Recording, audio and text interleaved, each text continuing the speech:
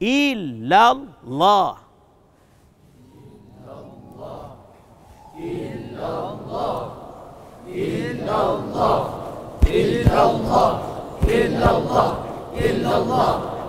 Itu kekuatan manusia. Itu kekuatan Ramadan. Itu kekuatan teras bagi Al-Quran. Apabila turunnya Al-Quran, pilih manusia itu telah menjadi terang jelas nyata. Allah.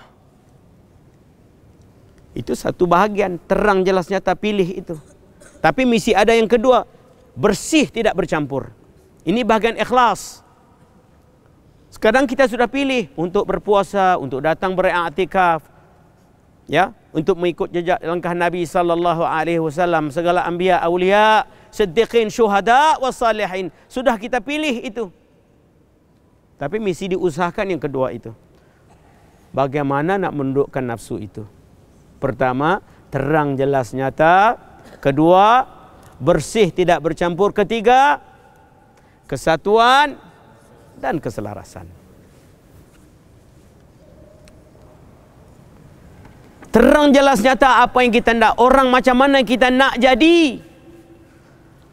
Orang yang macam mana kita tak nak jadi yang dah jadi. Orang yang tak nak jadi. Tapi dah terja- terlajak jadi. Jadi atau tak jadi manusia itu. Yang ni jadi sifat-sifat yang baik. Jadi sifat-sifat perangai yang tak baik. Itu jadi manusia itu. Manusia itu perangainya. Perangai itu, perangai berbuat itu dipengaruhi oleh apa yang dia rasai, alami. Apa yang dia rasa alami itu ada kaitan dengan pilih. Pilih itu ada kaitan dengan pikir. Maka pikir, pilih, mengalami merasai, akhirnya perbuatan. Apa yang kita dapat manusia berbuat itu semuanya ada hubungan dengan bulatan tadi itu. Pikir, rasa, buat. Pikir, rasa, buat. Pikir, rasa, buat. Jadi pikir, rasa, pikir, rasa, pikir, rasa, buat. Pikir, rasa, pikir, rasa, buat. Kalau kita pikir, rasa, pikir, rasa, ah, tak nak pergi masjid, tak nak pergi masjid. Pergi masjid tak? Tak pergilah. Kalau kita pikir, rasa, pikir, nak pergi, nak pergi, nak pergi. Pergi tak masjid? Pergilah. Pikir rasa, pikir rasa, pikir rasa, bu, buat. Manusia apa yang dia buat itu ada kaitan dengan pikir, pikir rasa. Sebab itu pikir ini mesti dihubungkan dengan pertunjuk. Hubungan rasa. Ya, sebelum nak rasa itu, sebelum nak pikir itu, pikir itu sendiri sebab itu faedah bagi fikir itu ilmu. Orang yang fikir dapat ilmu. Kalau kita lihat eh, apa benda itu ya? Kita perhati. Bila kita perhati, kita soal. Bila kita soal, soal itu membuahkan ilmu. Sebab itu si kecil, bila dia sudah mula berkata-kata, apa yang rajin si kecil tanya pada ayahnya? Apa tu? Apa tu? Semua nak soal kan? Mana isyarat daripada kehendak di dalam insan manusia itu nak tahu naluri di dalam itu. Nak tahu as-soal di dalam itu. Bila soal itu nak tahu itu cukup kalau diberitahu itu saya rambang. Saya ringkas. Dan sehingga ringkas rambang itu tak terang jelas nyata. Puas tak?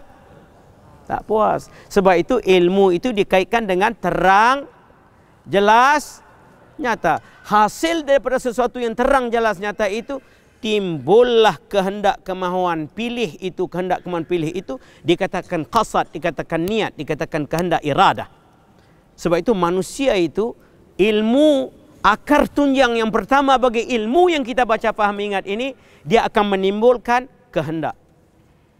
Allah. Sebab itu awaludin ma'rifatullah awal-awal din agama itu gaya hidup itu awal-awal yang dihubungkan dengan jalan anbiya aulia, siddiqin, syuhada wa salihin itu dihubungkan dengan pengenalan makrifah sebab pengenalan makrifah itu tempelak atau pantulan daripada pengenalan makrifah itu dia akan menghancurkan kehendak yang tidak muafakat dengan Rabb yang tidak muafakat dengan anbiya, aulia, siddiqin, syuhada wa salihin. Allah. Senang tak kalau kehendak kita sudah ada keselarasan itu? Untuk kita tundukkan nafsu soalan si adik tadi. Senang tak susah? Sudah senanglah. Masya Allah rahmatnya kedatangan Nabi sallallahu alaihi wasallam. Wa ma arsalnaka illa rahmatan lil alamin. Naam, naam, sadaqallahul azim. Hak dapat disaksikan, dapat dialami rasai, dapat disaksikan, dapat di, diketahui dengan akal yang waras itu. Sehingga terkeluar syakzan waham itu, naam, yakin. Muhammadur Rasulullah. Hatta fi kulli lamhatin wa nafasin adada ma wasi'ahu ilmullah ilmullah